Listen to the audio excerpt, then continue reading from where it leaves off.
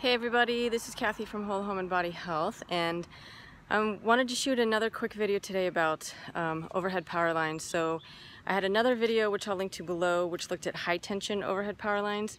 Today I just want to talk to you about just regular neighborhood distribution power lines. So we all have these pretty much in our home. They can either be above ground or below ground.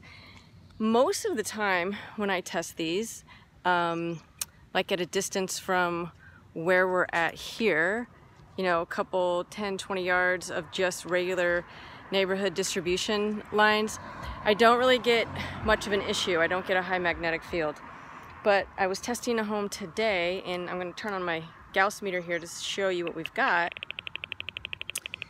So I've got about 2.5 milligauss just from the power lines across the street. So this house here would be getting exposed. As I walk closer to the house it goes down but not by as much as I would hope. And in fact I'm gonna cross the street here and you can see what happens as we get closer. So I'm going up going up as we get closer to the power lines.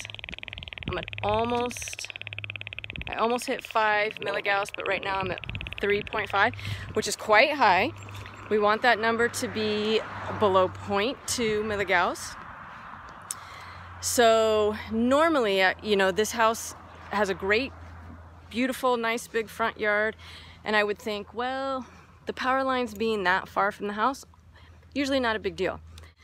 So as I'm getting closer to the door, I'm getting about 2.7 milligauss and that's too much for for me to recommend. Um, I I would not want to be living in a home that's got really. I, I don't want to live in a home that's above 0.2 milligauss, but um, as we get you know up towards one, I'm pretty concerned.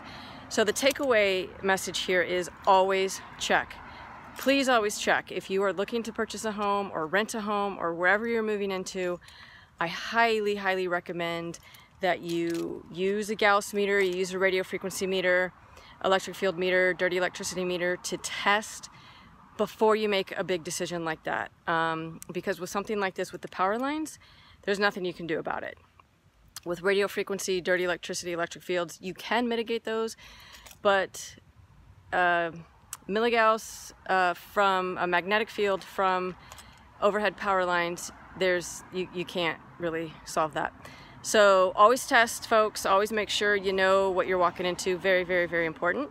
And if you want help with that, if you have more questions, just leave a comment below. I'm always happy to help or you can contact me via my website, which I will leave a link to below as well. Okay, thanks everybody. Bye.